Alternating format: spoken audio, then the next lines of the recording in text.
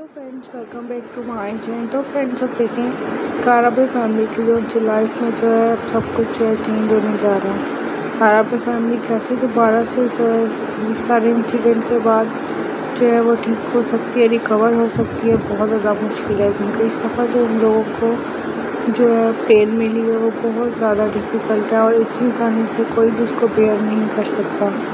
तो फ्रेंड्स अब देखें दिलान और बारान के एक्सीडेंट मेहरान की किडनैपिंग सब कुछ ऑलरेडी मैसअप हो चुका है और फरात और कोई, उन दोनों का अब देखें फ्रेंड्स होपफुली वो दोनों सरवाइव कर लेंगे दिलान और बारान भी सरवाइव कर लेंगे, लेकिन अब देखें फ्रेंड्स जो कुछ भी हुआ वो टोटली अनफेयर है, वो बिगेस्ट डिज़ास्टर है काराबे फैमिली के लिए। और अब देखें फ्रेंड जिहान कब तक वापस आएगा, क्योंकि जिहान का वापस आना बहुत ज़रूरी है। बारान बिल्कुल अकेला हो चुका है। गर्लफ्रेंड दिलाना और बारान जो है, इस बिगेस्ट ट्रॉमा में जाएँगे, मेहरान की न्यूज़ सुन के उनके फ्रेंड्स मेहरान के बगैर दोनों का कोई भी जो है, वो लाइफ नहीं है। मेहरान की वजह से दिलाना और बारान जो है, जो ट्रॉमा में जाने वाले हैं, वो बहुत ज़्यादा पेनफुल होगा। उनके फ्रेंड दिलाना और बारान दोनों की कंडीशन सेम होगी। और दोनों जो है, अब देखें सारी चीज़ों को कैसे हैंडल कर पाएँगे।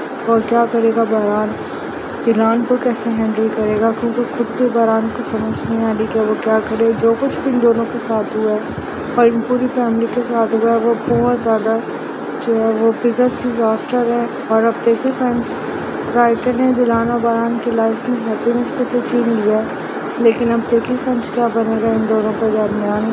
और कैसे भी दोनों सब कुछ हैंडल कर पाएँगे? क्योंकि फ्रेंड्स सारी चीज़ें और ज़्यादा कॉम्प्लिकेटेड हो चुकी हैं। और अब देखें फ्रेंड्स क्या बनता है। बहरान और दुलान जो है, इस ट्रबल से कैसे निकल पाएँगे और क्या बनेगा इन दोनों के दरमियान? उनके फ्रेंड चीज़ें ऑलरेडी बहुत ज़्यादा कॉम्प्लिकेटेड हो चुकी हैं। तो देखें अब इनका एनिमी जो है कितना ज़्यादा जो है डेंजरस है। Thank you for watching take care अल्लाह हाफिज़